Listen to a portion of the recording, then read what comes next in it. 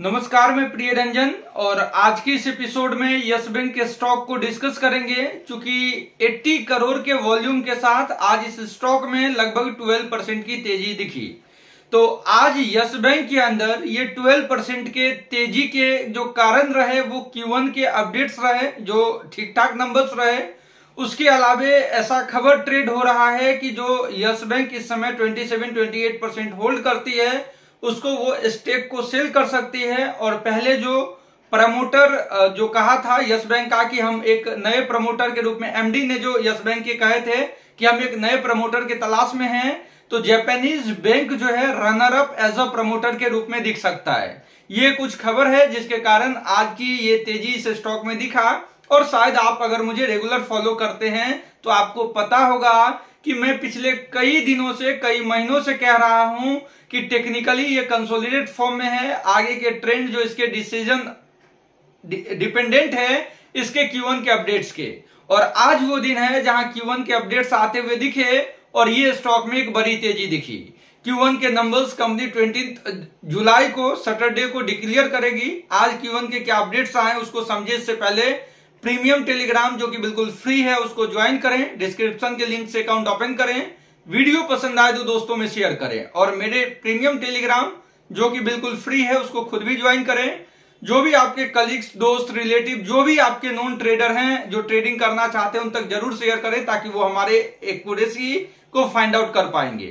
तो स्क्रीन पे चलते हैं, और यहाँ देखेंगे कि यस बैंक में आज की जो तेज़ी रही है, वो तेज़ी लगभग लगभग 12 परसेंट की तेज़ी रही। और इस तेज़ी को अगर मैं आपको मंथली टाइम फ्रेम पे दिखाऊँ तो लगभग लगभग 20 परसेंट की सिक्स मंथ देखेंगे तो ओनली 10 परसेंट और ईयरली 55 परसेंट यहाँ सिक्स मंथ के ट्रेंड में देखें तो जो लोअर लो लोअर हाई के जो रेजिस्टेंस थे, वो एक रेजिस्टेंस ब्रेकआउट हो रहा है। वॉल्यूम देखें तो आज इस स्टॉक में वॉल्यूम लगभग लगभग यहाँ देखेंगे तो 80 करोड़ के आसपास का वॉल्यूम है और जो खबर इस स्टॉक में रही थी, वो क्यूवन का अपडेट रहा है। और इस Q1 के अपडेट्स को अगर आप देखेंगे तो कंपनी के loan and advance 15 percent year on year basis पे ग्रोथ क्वार्टर क्वार्टर बेसिस पे 0.9 परसेंट डिपोजिट 20.8 परसेंट ग्रोथ रहा है ईयर ऑन ईयर बेसिस पे, और 0.5 परसेंट डी ग्रोथ रहा है क्वार्टर क्वार्टर बेसिस पे 1.1 परसेंट जो है कासा क्वार्टर क्वार्टर बेसिस पे गिरा, उसके अलावे 26 परसेंट के कासा जो है, वो ईयर ऑन ईयर बेसिस पे बढ़ते दिखे। क्रेडिट डिपॉजिट रेशियो और लिक्विडिटी कवरेज रेशियो भी देखेंगे तो काफ़ी इंप्रूवमेंट होते हुए दिखा है। और इस समय यहाँ देखेंगे तो थोड़ा बहुत जो है लिक्विडिटी कवरेज रेशियो जो थर्टी जून 2024 का है, वो देखेंगे तो हाईएस्ट एवर है और क्रेडिट डिपॉजिट रेशियो जो है थोड़ा बहुत वो पैनिक होते हुए दिखा। यही अपडेट, सेम कुछ ऐसा ही अपडेट हमने HDFC बैंक में देखा, जबकि HDFC बैंक पिटते हुए दिखे और आज पाँच परसेंट की गिरावट रही। जबकि उसके एमएससीआई के इंडेक्स में एड ऑन वाली भी न्यूज़ वेटेज बढ़ने वाली भी न्यूज़ आई। इसीलिए मैं कहता हूँ स्टॉक मार्केट को स्टॉक मार्केट भी कहा जाता है। सेम न्यूज़ सेम अलग सेम मतलब एक ही आधार के न्यूज़ पे दो स्टॉक में दो अलग रिएक्शन होते हैं। जहाँ आज HDFC बैंक, अगर मैं यहाँ पे आपको दिखाऊँ, यहाँ देखेंगे। तो H D F C bank H D F C bank जहाँ चार पाँच परसेंट आज टूटा है, वहीं देखेंगे तो यस बैंक जो है, आज लगभग लगभग कितने परसेंट? ट्वेल्व परसेंट बढ़ा है। यहाँ देखेंगे ट्वेल्व परसेंट बढ़ा है। और अगर इसके नंबर्स को भी अगर इसके चार्ट को भी देखें तो यहाँ एक कंसोलिडेट जोन है। यहाँ देखेंगे इस स्टॉक में ये एक कंसोलिडेट जोन है। इसको मैं थोड़ा चेंज करूँ। हाँ।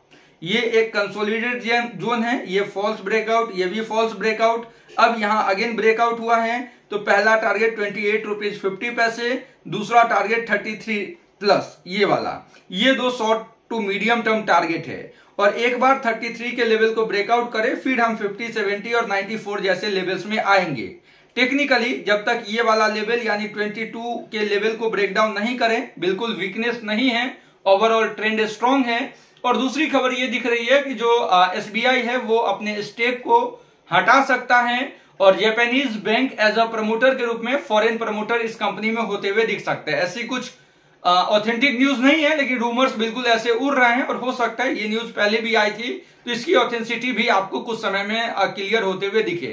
तो आई होप ये वीडियो इन्फॉर्मेटिव रहा। Thank you for watching this video